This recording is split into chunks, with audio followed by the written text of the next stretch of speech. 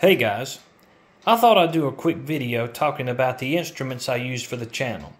I'm going to be giving a short review and a little bit of the history behind each instrument. First of all, I have a Kentucky A-style mandolin.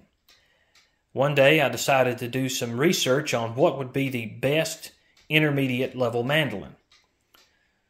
I found great reviews for this Kentucky mandolin, and it is the one I bought.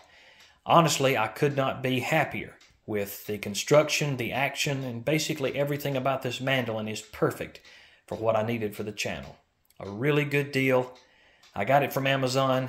It come in just perfect. I'm super happy with it. Next is this Recording King that I bought from a local music shop. It's part of a reproduction of 1930s style guitars and I gotta say, when I picked it up at the music shop, I had to have it. This is just an excellent instrument. I could not be happier with the price, the action, everything about it. I really have nothing negative to say about it. I'm very, very pleased with this instrument. It actually sounds better than a more expensive guitar that I bought. Um, I also ordered that one off of Amazon and I had to send it back. But when I picked up this Recording King, I knew it belonged with me. Next is the Deering Good Time Tenor Banjo. I gotta say, out of all the instruments, I would say this is probably my most favorite. It's a lot of fun to play. The name Good Time speaks for itself. I bought it from the same music shop as this guitar. It's another one of those that I picked up and I played it some, and I actually went home that day. And then the next day, I went right back to the music shop and picked it up because I knew I had to have it and it certainly has been the right tenor banjo for me. Next is this gold tone travel banjo.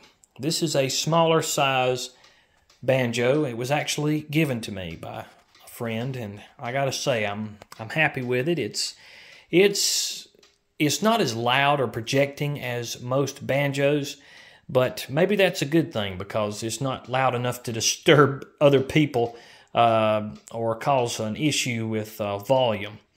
And um, with it being such a smaller size, it's certainly a lot easier to carry around and a lot easier to travel with. I keep this one tuned in the key of A. It seems to project a little better, and I enjoy the feel of the strings when it's tuned in the key of A. I got some videos coming up with that one too. Next is the Romanian Mandola. I ordered this off of eBay, and uh, it was the only one in America that didn't have to be shipped overseas. And I won this one on bids. Got a really good deal on it, too. Very happy with this instrument.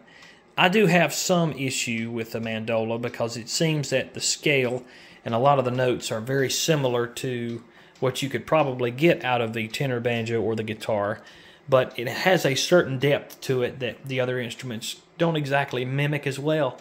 It's basically the most different of all of the instruments that I have.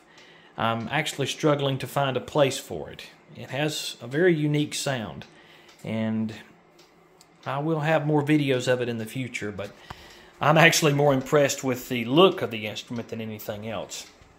This design here on the front, I think, is one of its best qualities. And lastly, I have this Appalachian dulcimer that I took the strings off of and I keep hanging here on the wall.